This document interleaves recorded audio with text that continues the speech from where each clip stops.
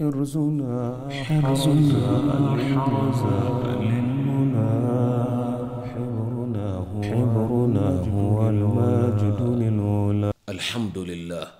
Welcome back to the Undercover Heavyweight Champions of the World.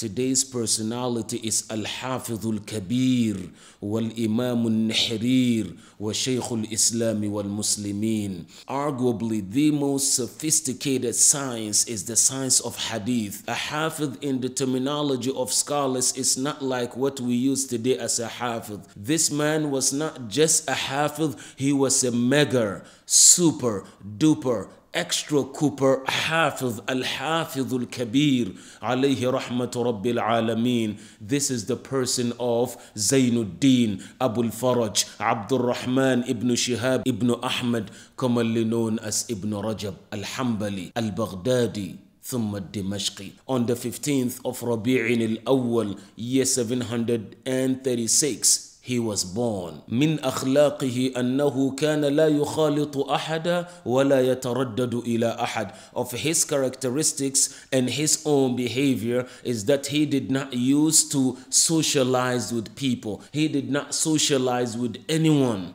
and he did not use to frequent anyone Imam Ibn Rajab al-Hanbali is the author of this book the book Fathul Bari that you heard about that is the best book on the face of earth that explain the best book after Quran which is Sahih al-Bukhari written by Imam Ibn Hajar al-Asqalani who took approximately 37 years compiling that book. That is the encyclopedia of Ahl Sunnah wal Jama'ah the one who came with that title Fathul Bari and started that work is this man, this heavyweight champion, Ibn Rajab al Hanbali rahimahullah. This great Imam, when he explains a hadith or when he explains a matter in fiqh, just go to sleep.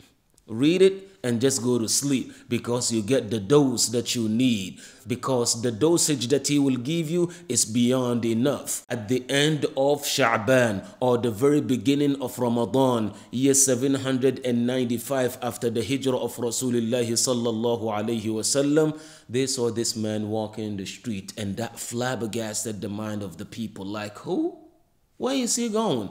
This is the man that we do not see him outside. This is the man who is not seen. He is not socializing. He is not going to anyone. He is not sitting with anyone, always keeping his mouth closed. When he begins to write or teach or when he begins to send the message of Allah to mankind is when the man is seen. So today, where is he going? They saw him entering a cemetery. They're like, what's going on with this imam going to the graveside? He's going to the graveyard. According to Ibn Nasir al-Din al-Dimashqi rahimahullah, he said some of those who witnessed this man's death, they said when he entered the cemetery, he went to the funeral director and the one in charge of digging the grave, Al-Imam al-Nihrir, he went and said to the person, if you don't mind, please dig a hole for me right here here. Astonishingly, he asked, like, what's going on? He's like, please, if you don't mind, just go ahead and dig a grave. So he said, I dug the grave. He went inside the grave and then he laid down. He went all the way in into the lahd. When he came out, he wiped himself and he was like, Hada jayyid, hada jayyid. This feels good and this looks good the man who dug that grave, he said on the 4th of Ramadan, in the month of Ramadan, just like the month that we are in. He said on the fourth day of Ramadan, year 795 after the hijrah of Rasulullah sallallahu alayhi wasallam, I saw people coming. They went straight to the hole that I dug few days ago. And I was like, what's wrong with y'all using that hole? I dug it for someone and they like, who are you talking about? That was Ibn Rajab al-Hanbali who asked me to open that hole. What you doing with that hole? They were like, look, this is Imam ibn Rajab al-Hanbali in his shroud. We came to bury him. Now you tell me if he is not a heavyweight, what else could he be? When he started explaining Sahih al Bukhari, his Sahih al Bukhari, his explanation of Sahih al Bukhari is on a different level. When he started explaining Sahih al Bukhari, he continued from the book Kitab al Wahi all the way to Kitab al Janaiz. When he reached the Kitab al Janaiz, do you know what Kitab al Janaiz is? That is the book that talks about funeral. That's when he dropped the book. He went to the grave. The place that he asked to be open was his own place. That was Ibn Rajab al Hanbali. There's nothing that is sweeter than ikhlas, sincerity. He tested it. And that's our shahada and the shahada of ulama in him. And in closing, I say to my brothers and my sisters all around the world know that the best time to be alive is this time that you are living, the time that is known as the last 10 days of Ramadan. Wallahi, wabillahi, watallahi, besides the first 10 days of Dhul Hijjah, there is no better time to be alive than this time. So if you see yourself alive, thank Allah and be grateful and appreciative and make enough dua, enough dua. And the best dua to make, Allahumma innaka afuwun tuhibbul afwa fa'fu anna. If anything else that you would like to ask, the best thing to add is to say, Allahumma inni as'aluka al-afwa wal-afiyata wal-mu'afat. There is no dua besides the first one that is equivalent to this if you will make it.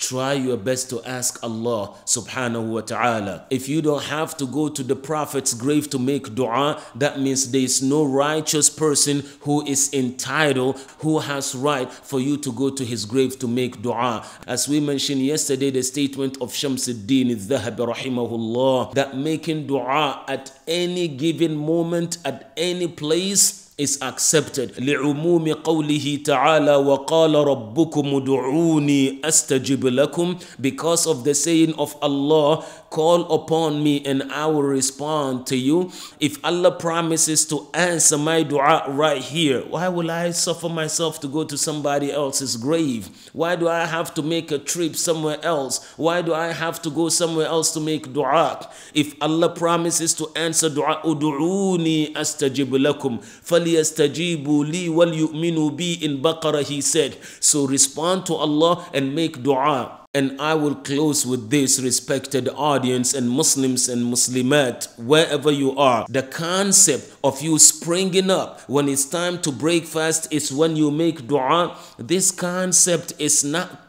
fully accurate. It's one of the places to make dua when you are breaking your fast. There's no doubt about that. But to refrain from making dua until you are about to break your fast is not the teachings of the deen. Because the Prophet sallallahu alaihi wasallam said, as Imam Ibn Majah and Imam Tirmidhi rahimahum Allah wa radiyallahu reported that the Prophet alayhi said, there are three kinds of people, three categories of people whose dua will not be rejected, whose dua and supplications will not be rejected. The first of the three as-sa'imu hatta yuftir, the person who is fasting until he breaks his fast, the person fasting until she breaks her fast. So dear brothers and dear sisters, don't wait at any given moment. You just remember, we Ramadan make dua. You wake up, make dua. You going to sleep, make dua. This is the moment of dua. Slaves and servants of Allah know that these days are the best days to be alive. So if you are alive, know that you are fortunate and fortunately blessed. Wassalamu alaikum khitaman wabtida. حرزنا حرزنا الحرزاء للمنى حبرنا هو حبرنا هو